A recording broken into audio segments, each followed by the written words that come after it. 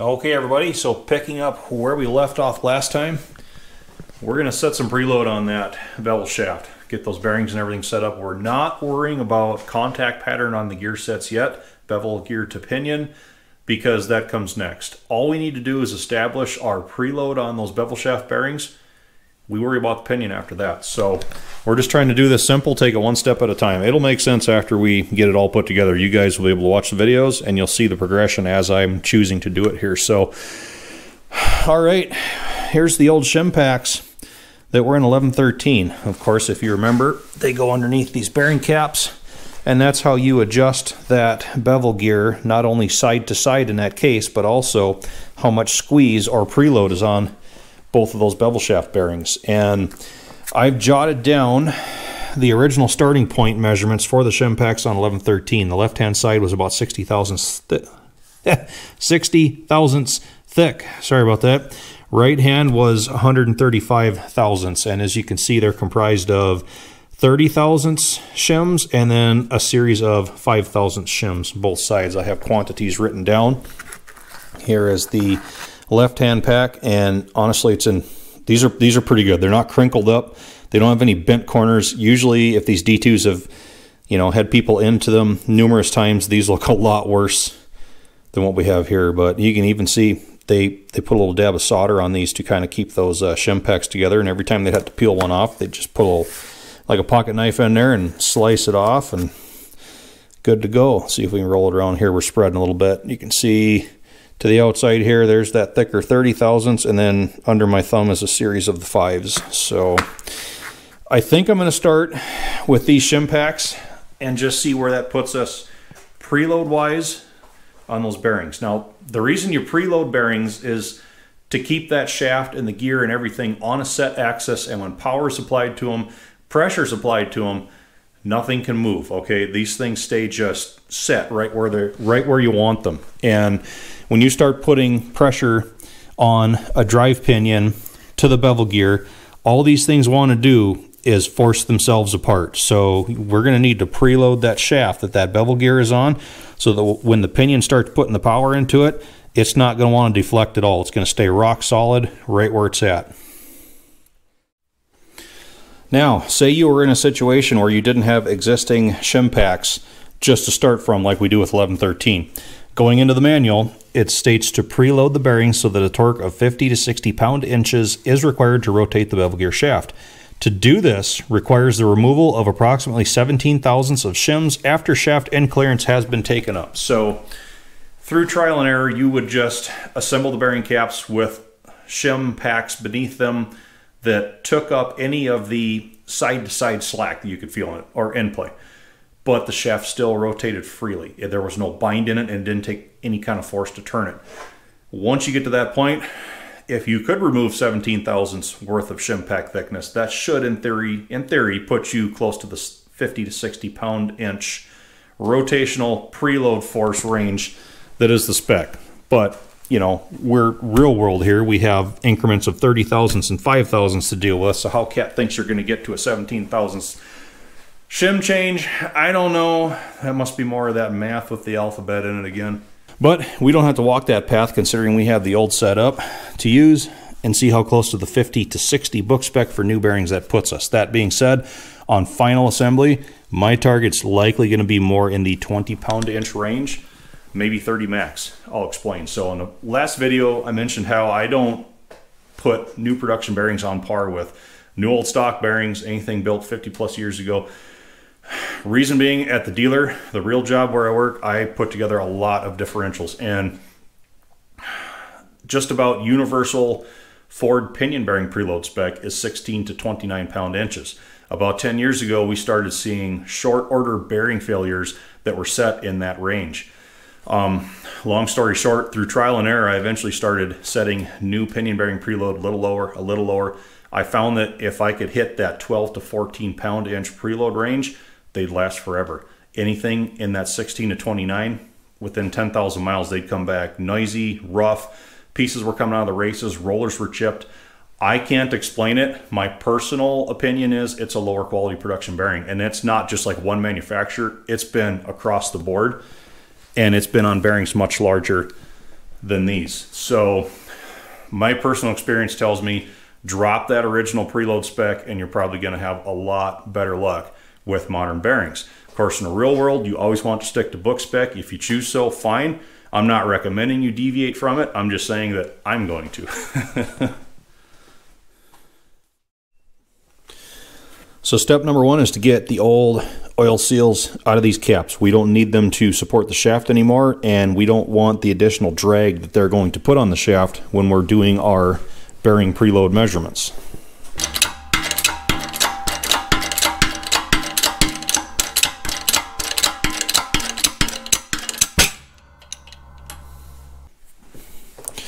Okay, and we are left side. So we'll take the shim pack, place it on the cap. And carefully assemble the cap to the shaft without damaging the shims on the studs. Um, another question was asked in the comment section last time too about why don't I pack the bearings with grease before putting them on a shaft. That's because grease will also create additional drag when you're artificial drag, I should call it, when you're doing your preload measurements. So I just have a light coat of oil on these bearings, 80-90 in this case. It's just what I had here in the shop. And you know, questions like that are good questions. I never mind answering questions, even though, well, I try to make it so the answers that I give don't sound like I'm being impatient or just being short with people. It's more because I'm in a hurry and I'm trying to answer a lot of questions in a short amount of time. You know, so sometimes my responses are just direct to the point. They're never meant to come across as being, you know, impatient or anything like that because questions are good. There's there's no such thing as a stupid question.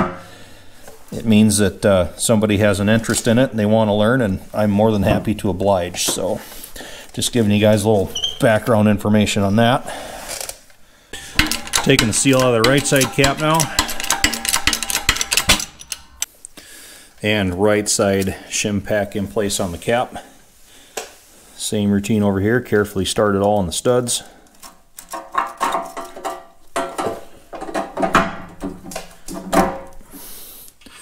And we'll start the nuts and then slowly draw them all down tight. We'll stop periodically to make sure we're not putting bind on the shaft in case these uh, shim packs are a bit too thick for these new bearings. We'll see where, where it puts us, see where it all ends up.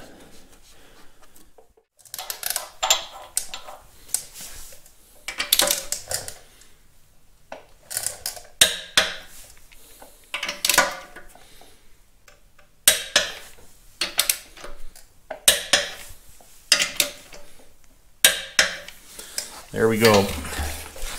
Torquing these nuts to 60 pound feet. These are half inch fine thread. Um, I'm going just kind of uh, mid-range grade 5 torque value on these because we have fold-over locks that are going to be backing them up. I don't need to go any tighter than that. And I do like to maintain a set torque on all my fasteners when there are shim packs beneath them. Um, there is a certain amount of compressibility to those, and you don't want to just go crazy on them either. So we're not bound by any means, but there's preload there. See how the shaft just pretty much stops itself when I let go of it? So it doesn't feel excessive. Let's put the torque wrench on there and see where we're at. One thing you always want to do is put several revolutions on the shaft before you take a measurement. That just kind of helps center everything, equalize it all out. So once again, stop bolt comes into play. I tell you what, that is the handiest thing. I think I need that for every task on a D2 bevel gear except for cleaning it. But I'll probably find a way to use it when I clean it as well. So, all right, let's see if we can get this to where we can actually see what's happening with the camera. So, small little torque wrench here, beam style. Let's just see where we are. I'd say, rotate this around, get another view of it. I'd say we're running, well, we're right about, we're right about 20 right now. I tell you what, I'm, I am liking the feel of that. Yeah, we're right about 20. So honestly, I thought we'd have a lot more trouble than that. I can't believe that initial shim pack setup put us that close to where I wanted to be anyhow. I mean, that's uh, that's feeling nice. I'll tell you what, just out of curiosity's sake, I'm gonna pull a single 5 thousandths shim out of the setup, torque these back down. I'm just out of curiosity factor. I want to know where that puts us, how much higher that takes the preload.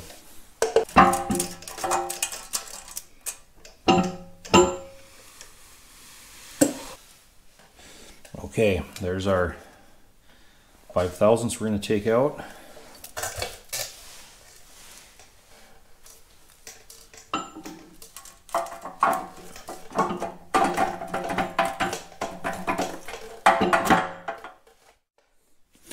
Okay, the bearing cap on the right side is torqued back down. Let's see what that 5 thousandths adjustment did for us. So, coming around, we're about 30 rotational. Breakaway is a little higher. Again, about 30. Breakaway torque is the amount of force it takes to initiate movement, to, you know, to get it turning. When you're dealing with preloads, the higher the preload, the higher the initial breakaway torque is. We want to pay attention to rotational. So and again, we're right on 30 as we come around. So honestly, I think I'm going to leave it right there. I'm okay with that. I, I'm not comfortable going 50 to 60 personally with these new modern bearings. 30, I think, is a good point. They can bed in a little bit as they wear. That preload's going to reduce somewhat, but we want to keep good load on this bevel gear shaft, not only to keep that gear from deflecting, but also, remember, we're going to have steering clutches that are going to be pulling on each side of that shaft. And 1113, I showed you earlier on how you can you could pull on the first steering clutch lever and the other one would pop forward. So then you go to the other one and then the first one will pop forward again. That indicated end play on that bevel shaft and not surprising with the wear we found on those old bearings. So all right, we jotted down in our notebook here. The original setup gave us a 20 pound inch preload. We took 5 thousandths. I should also note from the right hand side brought us up to 30. So I think we found our setup. Now we're not going to put oil seals in yet. We're not doing fold over locks yet because we may still need to do bevel gear position adjustments once we get the drive pinion in there. That's going to happen next time. This video was only about getting that preload set on that bevel shaft. We've accomplished that. Let's move on. All right, so at this point, I'm going to throw the reverse idler gear and the counter shaft into the bottom of this case down here. Reason why we're going that route instead of just bolting that pinion in and finalizing all of our gear adjustments is because all of that stuff can stay down in the bottom of the case. It's not going to be in our way anyhow for when we have to do those pinion adjustments. But if we went ahead and just threw this in on top, which we could do right now, we could get all this figured out today, but then we're taking all this stuff back out just to put all these pieces back into the bottom anyhow. So like I said before, I'm kind of trying to follow the most efficient path towards getting this put together where we're not going in to take parts back out, to put parts back in, just trying to one and done, and we've got it in the books. So let's get started. Okay, reverse idler, shaft, and bearing have a light coating of gear oil on them. That's all we need for this stuff. New fold over lock onto the set bolt that holds all that in position. But one last thing I want to show you. Even though I've been through D2 transmissions several times, I always keep the manual out for these steps anyway because there's so many small mistakes you could make that could cause big headaches, you know, like when installing the reverse idler gear, the rounded ends of the teeth should be toward the rear of the transmission case. I'll go through and read steps like that every time I do them just to make sure I have the presence of mind to be putting everything together correctly. So this case, if we had that flopped, it probably wouldn't really change a lot other than it would be harder to mesh the sliding gear into the square edges on those other teeth. But we just want to make sure rounded teeth here, rear of the case there, goes in just like that. No shame in checking the book. So I'll just pre-position the idler gear shaft and I'll try not to completely block you guys out of view here with my arms, but gear with the bearing inside goes down and then slide the shaft the rest of the way through. There we go, line up the indentation for the set bolt. Now the set bolt with the new fold over lock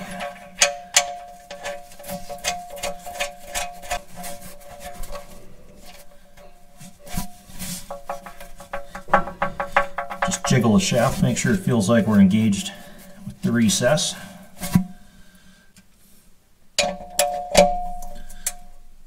Tighten it up. Cinch the jam nut.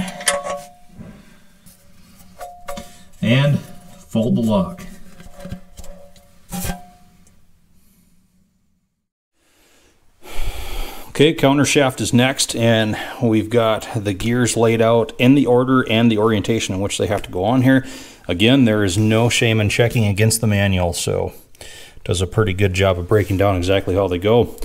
Just a quick run through, we have the second and reverse gear, large gear to the back, small gear to the front. We have the third, fourth gear, small diameter gear to the back, large diameter gear to the front, and we have the first and constant mesh gear, small gear to the back, large gear to the front. So we'll feed the shaft through the bevel gear compartment and into the bearing race.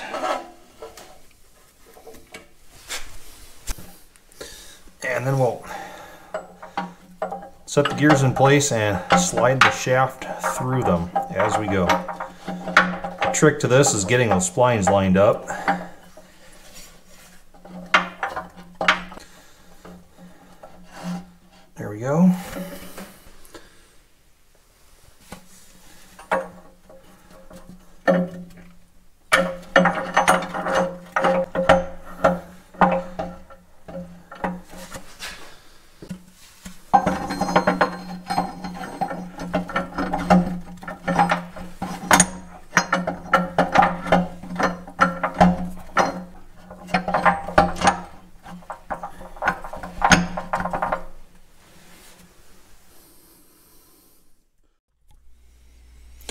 All right, so with the shaft and gears in place, we just need to install these pieces right here, and we've got another video in the books. So here's the front support bearing for that counter shaft. Now these are 307W bearings, common size, open ball design like this.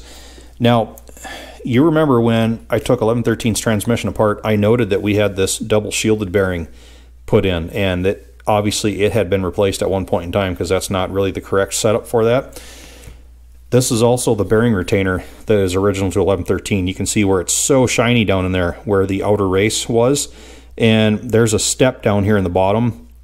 I bet it's 10 to 15 thousandths difference where that's evidence of a, uh, a failed bearing that spun and it just wore heavily into that retainer. So that's enough to uh, basically render this piece uh, scrap, you know. So we're getting rid of that. This is uh, 2115's bearing retainer housing actually and I had this uh, 307W that was very very lightly used things like new. So that's what we're going with here gaskets front cover for that and then the various washers and a hardware to attach all this to the front of the counter shaft. But I'll tell you for the wear that I found in this transmission 1113 put some serious power into the ground back in her day. So first piece we have is this thrust washer here goes on the front of the counter shaft right up against that gear. Next, we have the bearing retainer. So we've got the gasket in place on the back of that. It's kind of hard to see down here, I know, but we'll start this kind of on the studs. And now you want to pay special attention.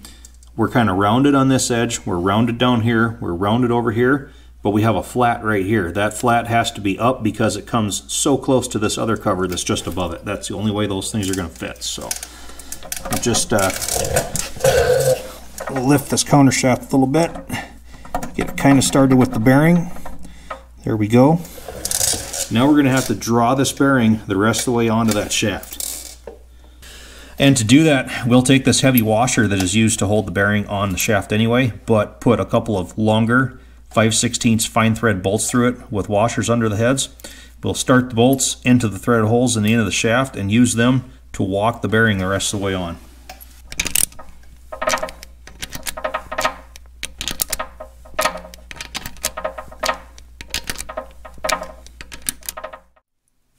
And with the bearing fully on the shaft, discard the long bolts, put the uh, original bolts back in, new fold over lock beneath them, and secure it.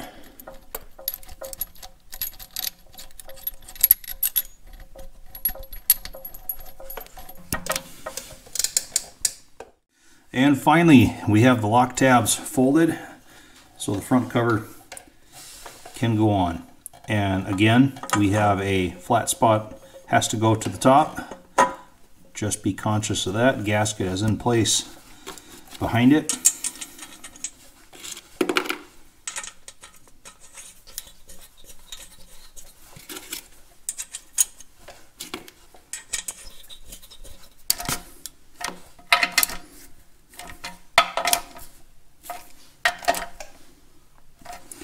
There it is. So we might as well wrap it up about the same place we started today, looking at the end of that bevel shaft, right?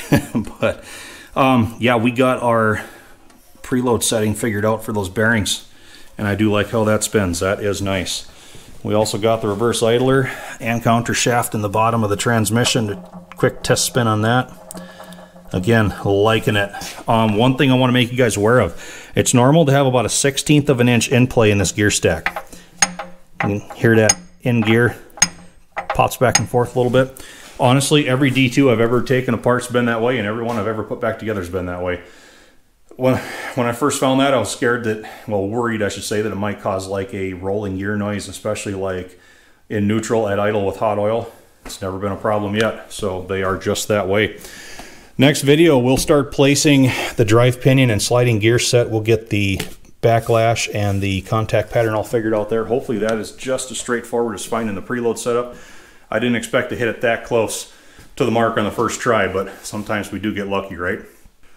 Anyway, thank you everyone for watching. I know I say that every time, but it's the truth. I really do appreciate it. And thank you for supporting the channel. Once again, memberships are available. I've started putting a live link to the join page down in the description below because some people are still having trouble finding the icon. It doesn't always show up on all mobile devices. So click on over there, see if it's something that you might be interested in. Remember, um, there's always behind the scene footage. We've been putting a lot of that stuff up lately and early access to the new episodes and ad free. They stay ad free for the first day over on the members page. So if you want to just avoid all that, that might be another route for you to take. But thanks everybody. I appreciate all the watch time. I appreciate the likes. I appreciate you guys sharing the channel, spreading the word. Um, we're growing and I think we're doing a pretty good job at it and I couldn't do it without every one of you. So Hope to see you back again.